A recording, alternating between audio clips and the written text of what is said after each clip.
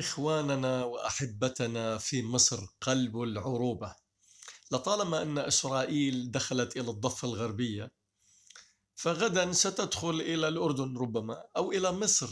لطالما أن الشعب العربي يزحف وينبطح أنتم ساكتون صامتون تختبئون في المطابخ وخلف نسائكم. لأنكم لا تريدون أن تنصروا إخوانكم في غزة بل لا تريدون أن تنصروا المواطنين المصريين المتواجدين في غزة. 30 40 ألف مصري ومصرية في غزة. أنتم تصاهرون أهل غزة يعني على الأقل إذا كنتم لا تريدون أن تنصروا أهل غزة الفلسطينيين. فانصروا إخوانكم من المصريين على كل.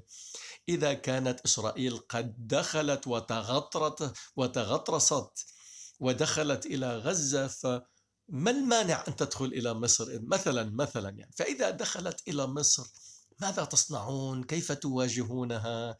كيف تواجهون الجيش الإسرائيلي مثلا؟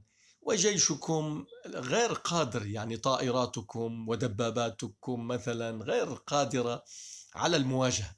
والشعب المصري لا يمتلك يعني صواريخ ورشاشات أنتم ناس مسالمين.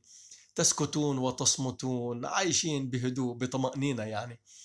لكن إذا صار ودخل الجيش الإسرائيلي إلى القاهرة وإلى مصر فكيف تواجهون هذا الجيش؟ عندي لكم خطة بسيطة جدا.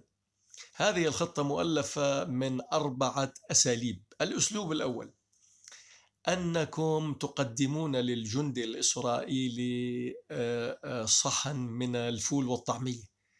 هذا الصحن كفيل بأن يجعل من الجندي يدوخ أو يسطل مثلا أو مثلا يعني ينعس ينام.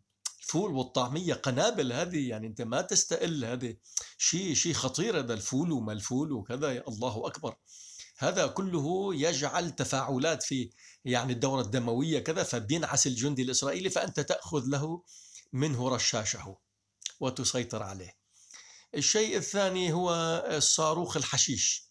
طالما أن يعني آه، الحكومات آه، عندكم يلهوكم بهذه الأمور ويشغلوكم ويدخلوا يعني أنواع الحشيش والمخدرات حتى الناس تلتهي حتى الناس تدوخ حتى الناس يعني تطير كالحمام في الفضاء. حتى لا تستطيعوا أن مثلا تنزلوا إلى الشوارع تنصبوا الخيام تستنكروا تتظاهروا تتأثروا مثلا. تدافع عن إخوانكم في غزة تبقوا في بيوتكم وأنتم يعني تشربون هذا هذه المادة يعني المخدرات.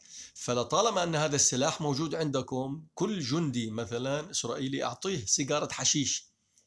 فهذه السيجارة كفيلة بأنه هذا كمان يفقد آه، يعني صوابه يفقد يعني آه، ما يعود يعني يسيطر على حاله فيترك سلاحه فأنت تأخذ منه سلاحه. حشيش أنت تحكي عن مخدرات. الشيء الثالث هو الرقاصة. يعني مثلا مجموعة من الجنود دخلت إلى حي فأنت تأتي لهم برقاصة ترقص لهم فهن يعني بينبسطوا يرقصون معها فيتركوا سلاحهم. فذا. الشيء الثالث هو أم كلثوم. يعني تضع صوت أم كلثوم على المكبرات الصوت وبالتالي فإن لأن الإسرائيليين يحبون أم كلثوم كثيرا كثيرا. ما بعرف شو السر يعني بحبوا الطرب. فضعوا لهم آه، آه، أم كلثوم على المكبرات الصوت وبالتالي فإنهم يلتهون بصوت أم كلثوم أه؟ اول شيء عودتي عيني يا ظالمني جددتي حبك ليه لسه فاكر قلبي يدي لك أمان حيرتي قلبي معك أي شيء يعني كله بيمشي. فهكذا تستطيعون أن تسيطروا على الجيش الإسرائيلي داخل مصر وإلا يعني آه، أن أن تحفروا خنادق مثلا أو ملاجئ تحت المباني ما بيصير لأن المباني عندكم مغشوشة.